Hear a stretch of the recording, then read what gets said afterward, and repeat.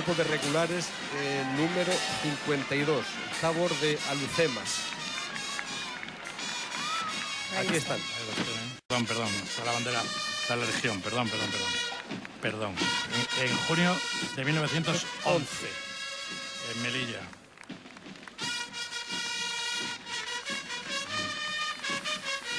De la chirimía que siempre nos enfoca nuestro realizador Mauricio Rico. Por aquello que dicen que yo tengo debilidad por esos instrumentos que aparecen ya en el Pórtico de la Gloria de Santiago de Compostela.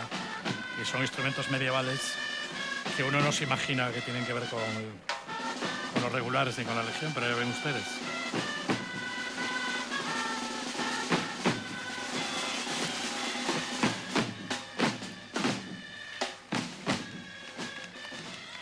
Sabéis que el batallón, en este caso se llama Tabor, y se concibieron fundamentalmente como fuerzas de choque. Las primeras acciones fueron en mayo de 1912, la campaña del Quer, y eh, tuvieron condecoraciones, concretamente la Cruz de la Real y Militar Orden de San Fernando, el teniente de caballero don Jaime Sabaniego y Martínez Fortún por la toma del poblado de Jadu, Alal y Calú. Son de hecho los regulares la unidad más condecorada de, todas, de, de todas las Fuerzas Armadas españolas precisamente por sus actuaciones. de laureadas colectivas, laureadas individuales, medallas militares colectivas e individuales,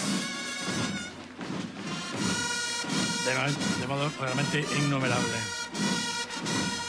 Y se llaman regulares porque hasta 1911, en la guerra de África, se formaban tropas que después de una campaña, una batalla, se disolvían, eran fuerzas irregulares.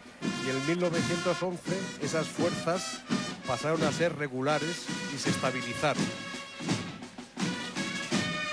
En septiembre del año pasado, terminaron desde mayo a septiembre, estuvieron en Bosnia, en la misión internacional Charlie Sierra South.